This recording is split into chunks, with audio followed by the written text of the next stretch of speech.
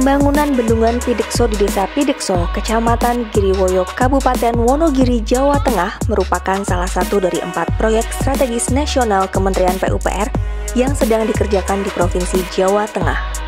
Pada hari Kamis, tanggal 11 Juli 2019, bertempat di lokasi pembangunan bendungan Pidekso, Direktur Jenderal Sumber Daya Air Dr. Insinyur Hari Sukayogi Master Engineering secara simbolis melakukan pengalihan airan sungai driver closure masuk ke terowongan. Kegiatan pengalihan aliran sungai ini ditandai dengan penekanan tombol sirine.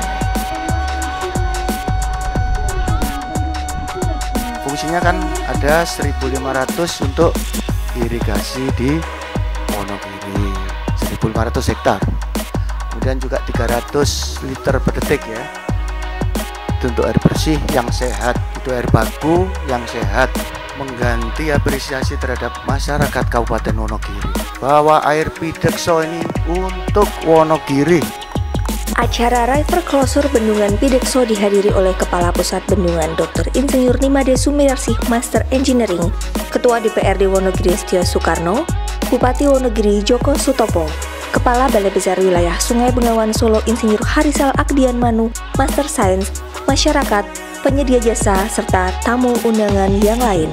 Dengan pengelakan aliran sungai ke dalam saluran konduit hari ini, merupakan tanda akan dimulainya pelaksanaan bangunan utama Tanggul Bendungan Pidekso berupa pekerjaan galian tubuh bendungan, perbaikan pondasi, pekerjaan timbunan yang selanjutnya dapat menampung air dengan volume tumpungan 25 juta meter kubik.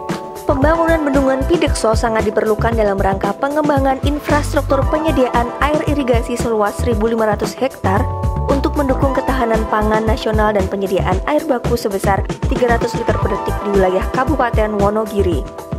Juga menaikkan intensitas tanam dari 133% menjadi 240%, pengendalian banjir, konservasi dan pariwisata dalam rangka pengelolaan sumber daya air yang berkelanjutan dan untuk meningkatkan kesejahteraan masyarakat.